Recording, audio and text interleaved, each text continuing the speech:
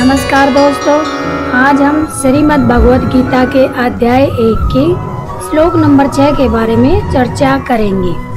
युधा मनुष्य विक्रांत उत्मोजाश्च वीर्यवान सुभोद्र द्रौपदेयाश्च सर्व एक महारथ श्लोक में आए कुछ शब्दों का अर्थ अच्छे से समझते हैं।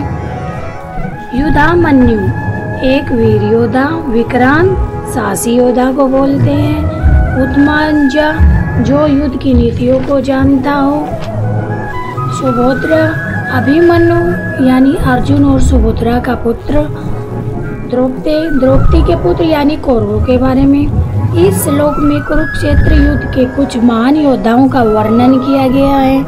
यहाँ पर विक्रांत, युद्धामन्यु, वीर्यवान उत्मुजा सुभद्रा के पुत्र और द्रौपदी के पुत्र, इन सभी महान योद्धाओं का वर्णन किया गया है। इस श्लोक के माध्यम से हमें यह संदेश मिलता है कि सभी वीर योद्धा अपने धर्म का पालन करते हुए युद्ध में अपनी कुशलता का प्रदर्शन करते हैं। अब बारी है सीख की। तो इस श्लोक के माध्यम से हमें यह सीख मिलती है, अगर हम अपने सामर्थ्य ताकत को सही दिशा में लगाते हैं या प्रयोग करते हैं तो हम अपने लक्ष्य में ज़रूर सफलता हासिल करेंगे। धन्यवाद।